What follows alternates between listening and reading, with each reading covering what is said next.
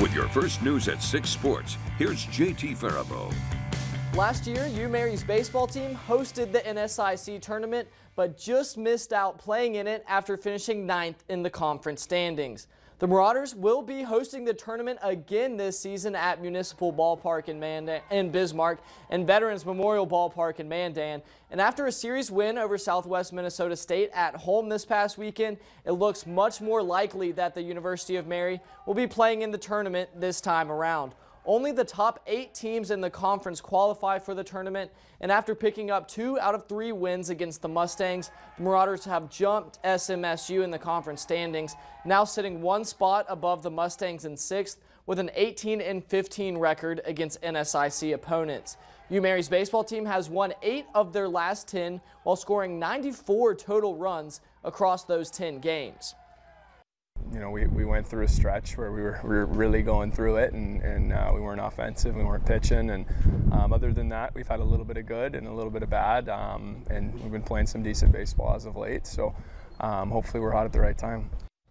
The Marauders have a conference doubleheader at the University of Minnesota Crookston. That's been moved to Wednesday, and a conference road series at the University of Minnesota Duluth this Friday and Saturday. The NSIC conference tournament begins in Bismarck and Mandan on Wednesday, May 8th.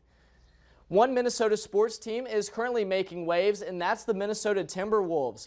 Following last night's 122 to 116 road victory over the Phoenix Suns, this year's Timberwolves have become the first team to win a playoff series since 2004 when the squad was led by Kevin Garnett and they advanced to the Western Conference Finals. The Timberwolves didn't just win the series over the Suns, they swept them across four games, which is the first time a professional Minnesota sports team has ever swept a seven-game series. 22-year-old Anthony Edwards has been the star of the show for the Timberwolves, averaging 31 points a game this postseason. The team is rounded out by the likes of Karl-Anthony Towns and Rudy Gobert, who each contribute in their own way. The third-seeded Timberwolves are the first team to claim their spots in this year's conference semifinals.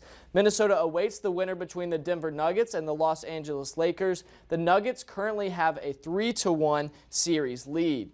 2020 Mr. Basketball recipient and Devils Lake grad Grant Nelson has announced that he'll be returning to Alabama for his fifth and final year of college basketball eligibility. It'll be Nelson's second season with the Crimson Tide, having transferred to the SEC after becoming a one-time first-team All-Summit League player over three years at North Dakota State. Nelson was a massive part of the Crimson Tide's run to the Final Four, most notably with a 24-point, 12-rebound double-double against the North Carolina Tar Heels in the Sweet 16. The Minnesota Twins are riding a seven-game win streak after sweeping their series against the Los Angeles Angels. Carlos Correa returns tonight from the injured list with the Twins as they take on the White Sox this evening. First pitch is scheduled for 6.40 p.m. in Chicago. And tonight, it's winner take all for the Bobcats in Game 5 against the Aberdeen Wings. The series is knotted up at two apiece.